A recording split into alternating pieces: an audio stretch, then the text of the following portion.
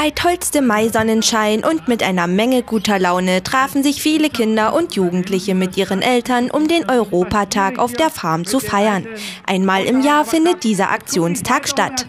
Ja, also es ist definitiv so, dass wir jedes Jahr eine Europawoche äh, beim Träger begehen, wo alle Einrichtungen ja, die ganzen Kindertagesstätten mit eingeschlossen sind. Und wir zählen ja auch zum christlich-sozialen Bildungswerk.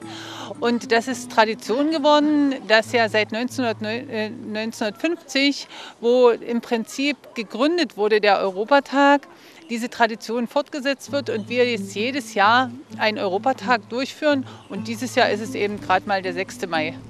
Das absolute Highlight des Tages war auf jeden Fall der Besuch des Landrates Michael Harig, der ganz viel gut durchdachte und knifflige Fragen der Jugendlichen beantworten musste. Unternehmen, gerade hier in diesen ländlichen Räumen und Hoyerswerda ist auch ein ländlicher Raum, zwar ein Zentrum im ländlichen Raum, aber ländlicher Raum.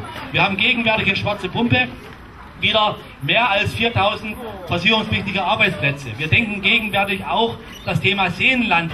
Einige würden da vielleicht ins Schwitzen kommen, nicht so Politikprofi Michael Harig.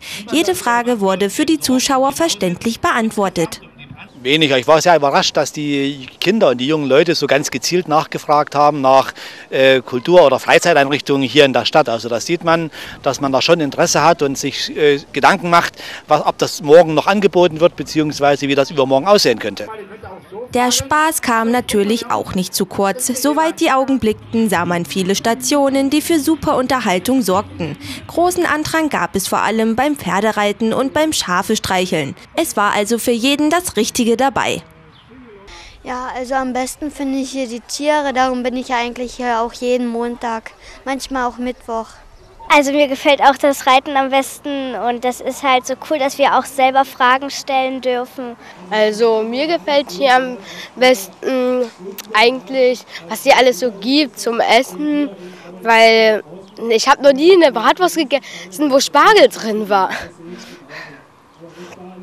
Und ansonsten gefällt mir auch, dass man hier so Fragen stellen kann an den Landtag.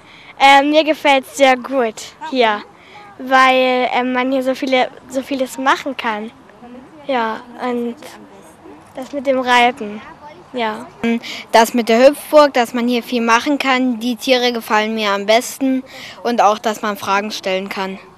Auch für das leibliche Wohl wurde genügend gesorgt. Auf dem kleinen Maimarkt mit regionalen Spezialitäten fanden sich viele Leckereien, um den kleinen Hunger zwischendurch zu stillen. Da wurde beherzt zugegriffen und geschlemmt, was das Zeug hält.